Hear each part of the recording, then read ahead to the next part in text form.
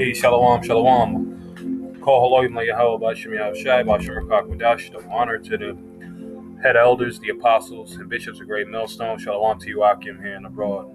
To Brother Yarzayan, back with another short lesson. Lord willing, you're edified. Vent session. You know, just thinking, man, listening to brothers' videos, you know, just meditating, you know, in the spirit. And uh,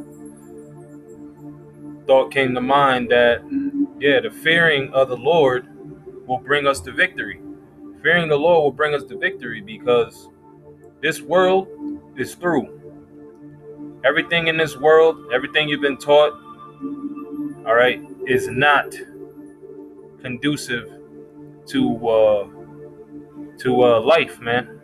You know, being in a, in, a, in an American mindset that's that that, that that that that spirit that comes with being an American, all right, is totally through. You know, you know, uh, example is you know you got to eat three square meals a day in order to function.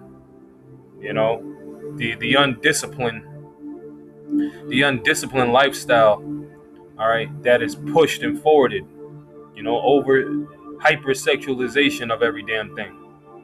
You know, there's a saying that goes, uh, everyone will feel two pains the pain of discipline or the pain of regret.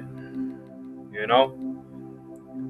So I want to read these scriptures and, uh, you know, paint that picture, you know, that fearing Yahweh by Hashem Yahweh Shai will bring the victory everything else, we're going to see very soon in living color what the American way is going to bring, man. All right. And we already know what's going on concerning the whole situation with, you know, the V's, all right, and the J's. You know what I'm saying? This is Matthew 6 and 21. For where your treasure is, there will your heart be also. That's a Mashiach Yahushai speaking. All right, where is your treasure? Is your treasure in how much money you got? Your, you know, lust of your eyes, the lust of your flesh. You know, was was how you going to be able to create more money and you know, and uh, uh, uh, a comfortable lifestyle for yourself here in America, or trusting and believing in Yahweh Bashim Yahweh Shai? Where is your heart? You know, where is your mind?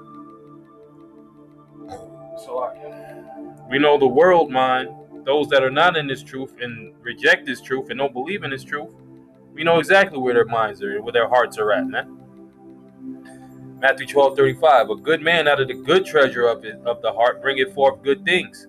Yeah, uh, look at the rulership. What's what's good come from this rulership under the Edomite? I'll let you answer that and and an evil man out of the evil treasure bringing forth evil things. Now that is exactly explaining where we are. Look at all of this evil going on in the world. Look at all of this guile, all this deception, all this filth. Look at what it's causing. Luke 6 and 45. A good man out of the good treasure of his heart bringing forth that which is good. Same thing. And an evil man out of the evil treasure of his heart bringing forth that which is evil. For the for of the abundance of the heart his mouth speaketh. And once again, Luke 12 34, for where your treasure is, there will your heart be also. So I just wanted to exhort, and Lord willing, it's edifying to you, Akim, and few sisters that sincerely believe in, in uh, you know, this faith and believe in this faith of Yahweh by Shem Shai with all your mind, body, and soul, that fearing the Lord Yahweh Bashim Yahushai will get the victory. These people are not going to win. They're going to end up with charagmas, jabs, V's, Victoria's Secrets. They're going to end up with thermal nuclear fire. So let's fight the good fight of faith to endure to the end. Shalom. And not receive that him judgment with the rest of the world.